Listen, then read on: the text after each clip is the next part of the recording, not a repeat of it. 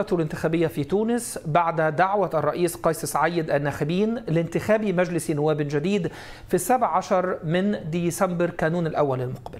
انقسمت القوى السياسية ما بين داعم للمسار السياسي ورافض له.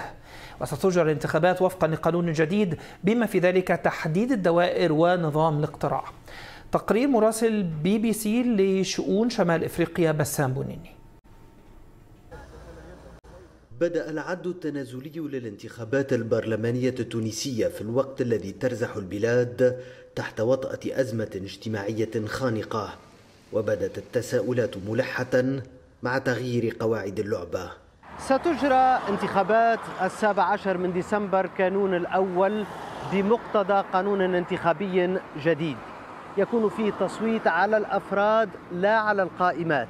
عدد النواب سينخفض من 217 إلى 161 وسيضاف مجلس آخر ومجلس الجهات والأقاليم سيكون ذلك لاحقا.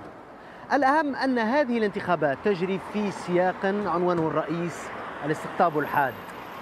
رغم تحفظاتها على ما ورد في القانون الانتخابي أكدت قوى سياسية داعمة للرئيس قيس سعيد مشاركتها في الموعد الانتخابي. هذه المحطة الوطنية وليست محطة حزبية صرفة تؤسس لدولة جديدة. تؤسس لمرحلة جديدة فبالضروري سنكون موجودين وسنشارك في وسندخل في كل الدوائر الانتخابية لأنه بالنسبة لنا نريد أن نضع على رأس جدول الأعمال العملية السياسية اهتمامات الناس لأنه هذا هو الجزء الذي كان مفقودا لمدة عشر سنوات. موقف جاء على نقيض موقف خصوم سعيد الذين سيواصلون مقاطعة العملية السياسية مثل ما فعلوا في الاستفتاء على الدستور في يوليو تموز الماضي. موقف المقاطعة هو في معناتها انسجام مع الموقف من المسار ككل اللي وصفناه بالانقلاب ومحاولة التفرد بالسلطة وتركيز منظومة ديكتاتورية بعيدة عن الأولويات الاقتصادية والاجتماعية والمعيشية المتدهورة بشكل كبير للناس.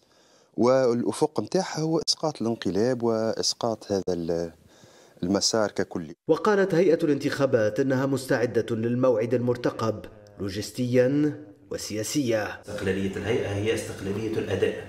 إذا كان هناك حسب التجربة التي خذناها سابقا في الاستفتاء إذا كان هناك ما يشكك في استقلاليتها فما فما على من يتمسك بهذا بهذا المزعم إلا أن يثبته. سوف نعمل على تذليل الصعوبات على اعتبار أنه الدوائر جديدة والتقسيم جديد ولكن الاستعدادات والعمل حثيث من طرف المجلس كما قلت. وبين مواقف المسؤولين والسياسيين بدا الشارع متذبذبا أمام حالة عدم اليقين التي تعيشها تونس.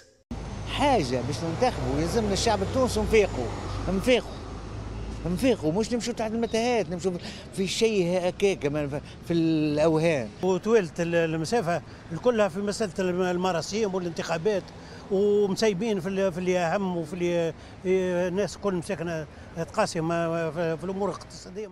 لازم اللي صار اللي قبل اللي بعد الاستفتاء الكل لازم نعاودوا نراجعوا ما عنديش انتظارات كبيرة وكشوف الوضعية نتاعنا وين وين وصلت فهمت؟ وحسب الدستور التونسي الجديد سيتضاءل نفوذ البرلمان المقبل بعد عودة السلطة بمعظم صلاحياتها إلى قصر قرطاج الرئاسي. بسام بنني بي بي سي نيوز عربي تونس.